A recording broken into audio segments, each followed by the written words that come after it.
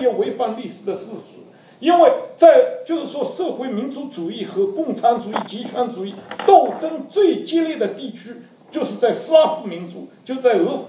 俄国我们知道，这个由普列汉诺夫这个创建的社会民主工党，这个当时列宁也是寄居在、寄生在这个社会民主工党的这个机体上，就是说打蛇随杆上。随着社会民主这个呃民主主义运动的这个发展。列宁的那个小团体，所谓的布尔什维克，会点广东话的俗语啊，打上广东话。布什维克我祖上变为布尔什维克。这个是，但是我们知道，站在反对、反抗集权主义最前列的，就是俄国的社会民主主义。社会这个是俄国的社会民主工党。俄国的社会革命党和所谓的孟什维克，孟什维克就是就是坚持这个普列汉诺夫的社会民主主义的这个呃，就是说原原教旨的这样一些就这这这个政治派别，他们不仅是在理论上和流氓无产阶级专政的代表列宁的这个极端这个这个极呃极权主义做了拼死的斗争，而且他们。发动了内战，我们俄国的国内战争，用武装力量来对抗这个刘呃呃列宁、斯大林搞的这个托洛当然了，还有托托洛茨基，这搞的这个就是说流氓无产阶级专政的这种镇压力量。当然他们是失败的，所以呢，在水兵起义全部杀光。对对对，克朗斯呃克朗斯他登的那个就水兵起义，就人民起义，其其实是这个全。呃，这个呃，全民起义，全民起义，水兵带是由水兵带动的，对。但是这个俄国的这个布尔什维克就用大炮，就把俘虏用大炮来，就是说进行集体大屠杀。就这个事情呢，所以社会民主主义和极这个共产党的集权主义不是一家人，是而且呢是斗争的最激烈的，而且是冲杀在这这个地最前线的，就是社会民主主义者。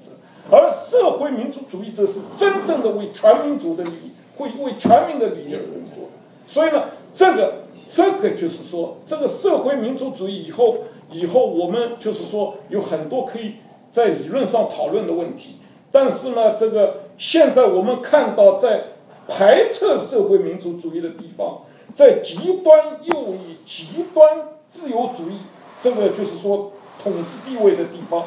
那么往往是。这个整个国家的国权柄和国家的利益，就受到了少数利益集团、少数利益的利益集团的把持和劫持，来捍卫自由、民主和法治，以及捍卫这种自由、民主、法治成果的，将来一定只能是这个历史的责任，只只能由社会民主主义者来承担的，因为他们在他们哲学当中、政治哲学当中。除了秉持自由、民主、法法治、多元以外，他们还加了一条，这这个这一条是共和党和民主党都没有的。这一条现在在美国只是在学院当中、学院派当中，在小规模的讨论的一个学术课题，叫做经济社会正义 （Socio-economic justice）。这个。而真正能够实践这一条哲学，在把这个课堂、把学院扩大成为九百六十万平方公里公里的全民一起来实验的这样一个课题的，只能是中国。所以，将来引领人类文明潮流的，一就是说，这个重心将会从西方转到东方，这而这个东方的重心就在中国。而中，不要看中国现在如此黑暗。如此腐败，但是中国人民当中隐隐喻着这种强烈的改革、变更现现实的这种意识和动力。这种意识和动力，我们在西方已经看不到了。这是西方的悲剧。西方西方的老百姓，这句话相当重要。永永远相信他们缺乏这样一种对这个对政治现实的批判态度。我看美国一个电影。就是美国最新版的，就是那个滨海沉船 Titanic 这个电影，我注意到一个非常滑、非常引人注意的现象。当那个电影演到那个演到那卡卡尔，就是那个钢铁大王，拿着就是说枪想把杰克打死的时候，那和就抢了他的女朋友 Rose 的那杰克打死的时候，而杰克一次又一次的，就是说就是躲过了他的枪弹，最后把把那个。呃，卡尔制服的时候，把那个钢铁资本家、大资本家制服的时候，你们知道，各位中国的听众，你们知道在美国的电影院里发生了什么情况吗？发生了整个电影院的观众啊，在全体起立，长时间的鼓掌，鼓掌的时间大概我我说看了一下表，一分钟四十秒，整整是一百秒钟的鼓掌。这个这个就是说，这个电影，那镜头都早过去了。这个事情啊，这个事情啊，我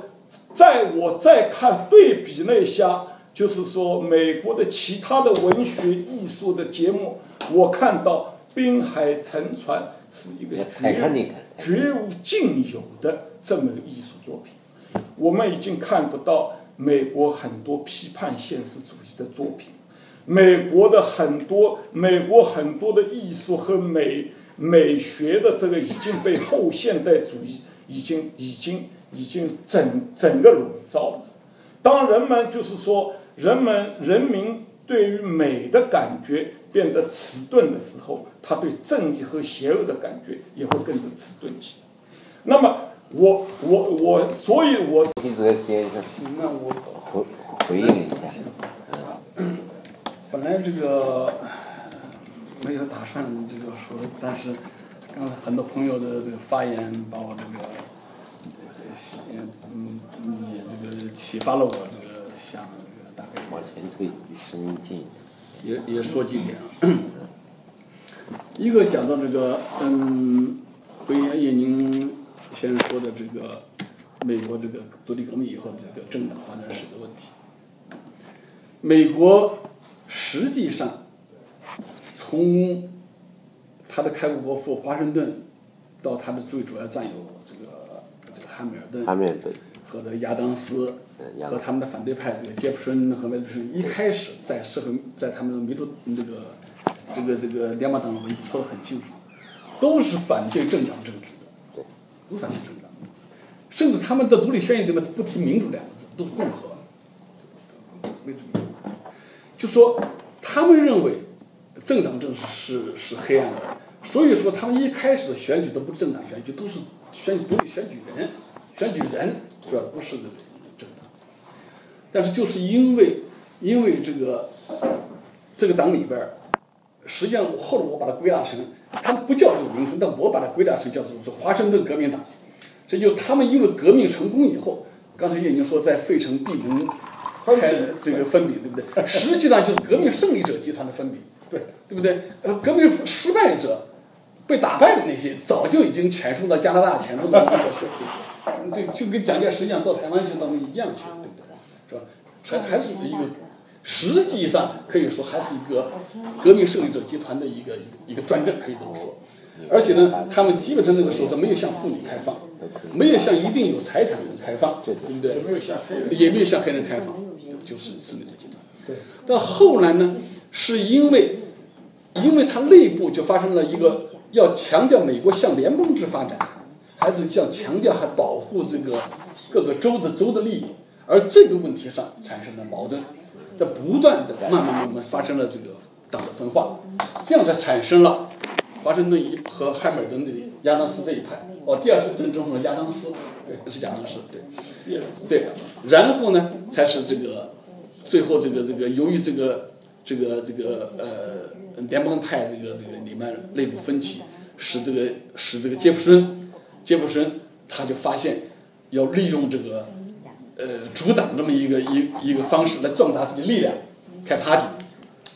这样才开始了这个有这个这个这个当时叫做这个呃民主共和党民主共民主共和党就是杰弗逊的，就这么是这么出来的，这么出来的，一开始连杰弗逊都。反对主党的怎么出来的？但这样呢？后来最后那联邦党这一派呢，他觉得你们有党，那我们没办法，我们也就开 party 了，是这么这么就自然这么来的。而不是说一种主观设计，我就是要搞两党，不是买，而是一种一种一种利益分化以后一种自然分化形成的自然分化自然形成。东东西。那然后最后联邦党就衰落，这个呃共和党这个呃杰弗逊民主共和党就是后来曾经相当一段时间一党独大，一党独大，一党独大，直到因为他一党独大失去了制约，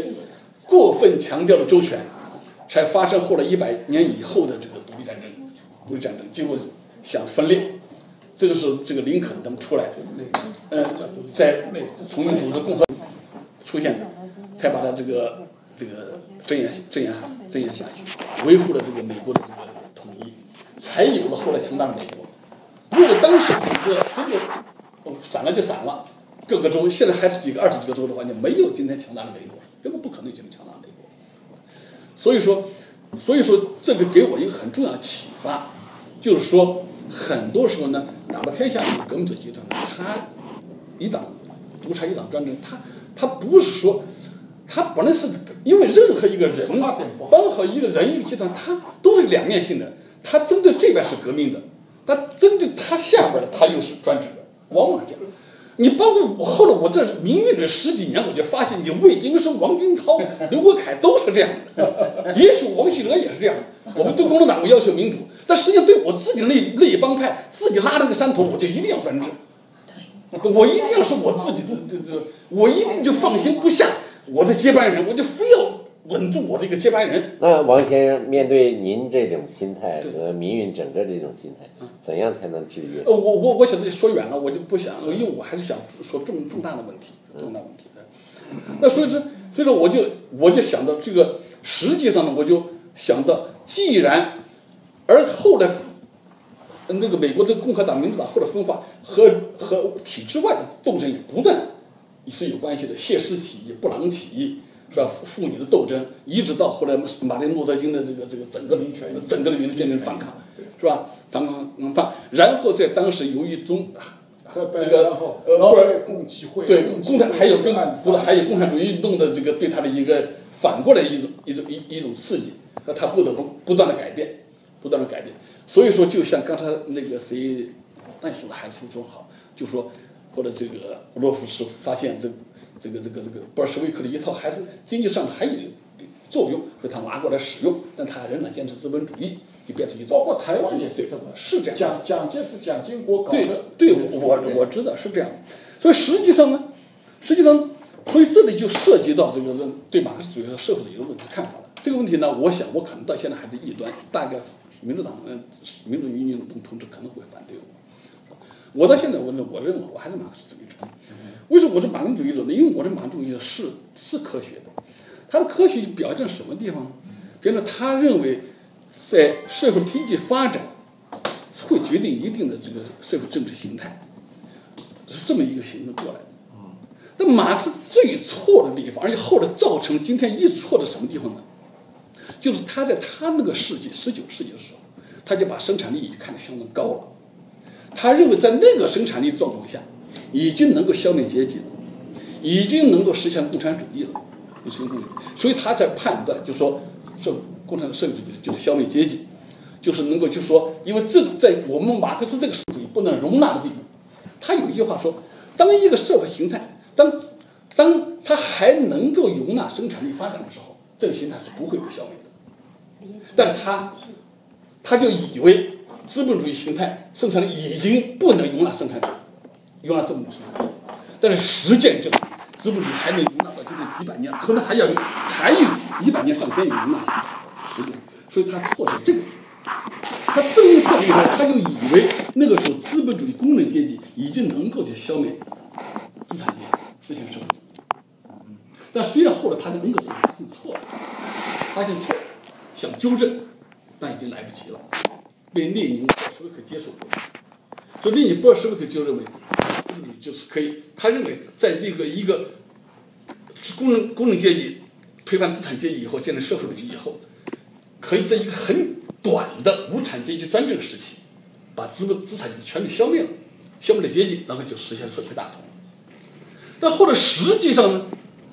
阶级不能消灭。阶级为什么不能消灭呢？是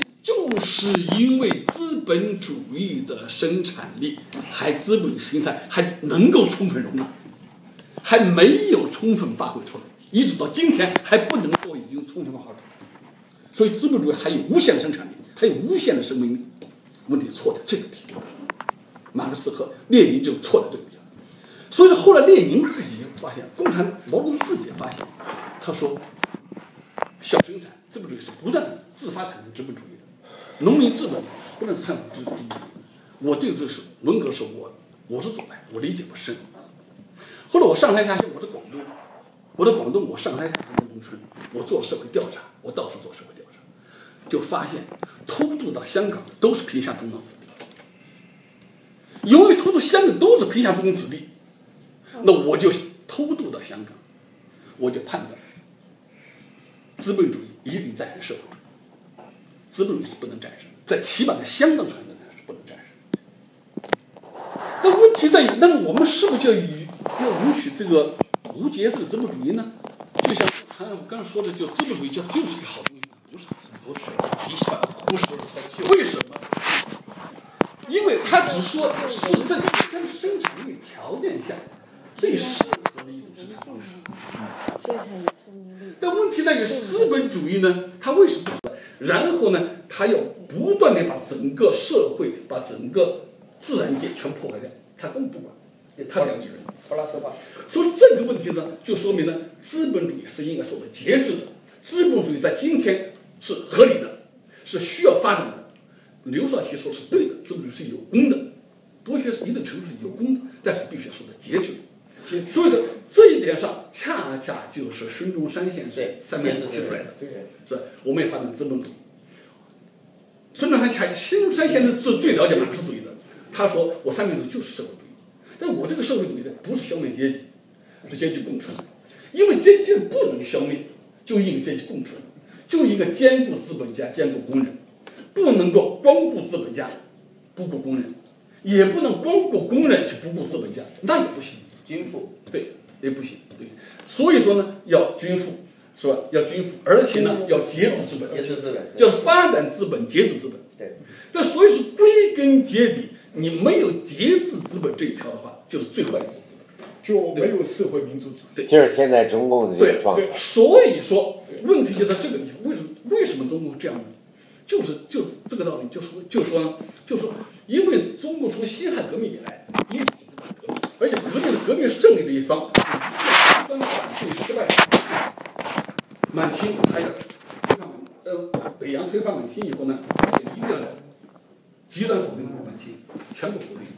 那么国民党推翻满清北洋以后，他要绝对丑化在满北洋。所以说，最近这么十几年、二十几年，大家才知道北洋原来还有很好的一个民主，曾经试探过民主形式，对不对？实际上北洋也不是那么坏，对不对？但是他也有他专制一方面，就是都是两方面。那么后来共产党把国民党推翻以后，又绝对的否定国民党，把它全部丑化，对吧？那问题在于，问题在于这里，可能大家不能接受我的观点了，就是毛他后来革命以后，他也是极端的推翻了这个那个那个那个那个那个以后，他本来他也主张主张三民主义的，三民主义的，就是所谓新三民主义，而且主张这个节制资本，而且主张中国要一个长时间要主张一个 That